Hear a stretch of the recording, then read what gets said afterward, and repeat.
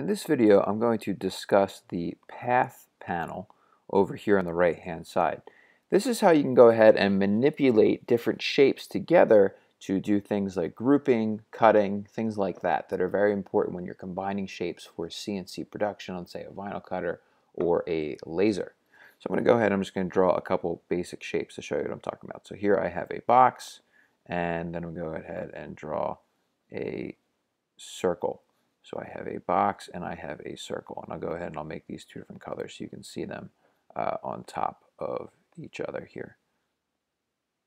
Okay, so inside this path window, notice how everything's grayed out because you have to have two shapes selected to use it. This section down here, unite, subtract, intersect, and exclude, those are really powerful when you want to manipulate things. So for example, if I want to merge these two shapes, my, my box and my circle into one, I can click Unite.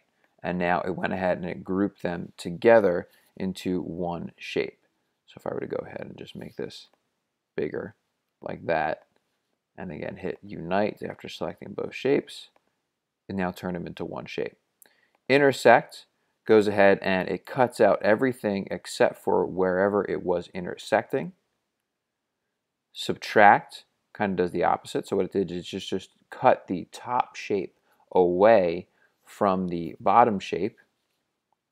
And exclude cuts out the overlapping part. So whatever is kind of the inside overlapping. These different functions, again, are great if you're going to combine shapes for CNC production or if you just want to create some type of interesting design.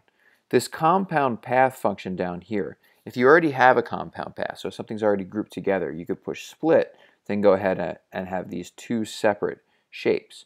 Or if I back it up a little bit before they are grouped together, and if I hit join, it kind of groups them into a single path. They are still two separate shapes. Notice how when I hover over them, they haven't done what Unite does here, so it's not grouped together. They're just a single path. So the lines are kind of merged and connected.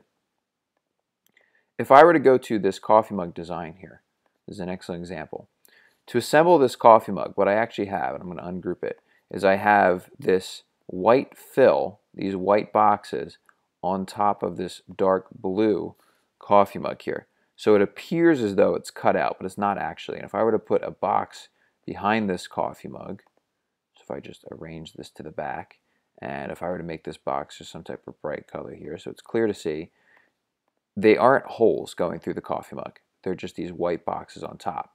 If I were to actually select my coffee mug and go to the path window and hit exclude, it actually cuts out those white holes to then make the coffee mug transparent, which again is excellent if you're going to recreate something like this on the CNC machine.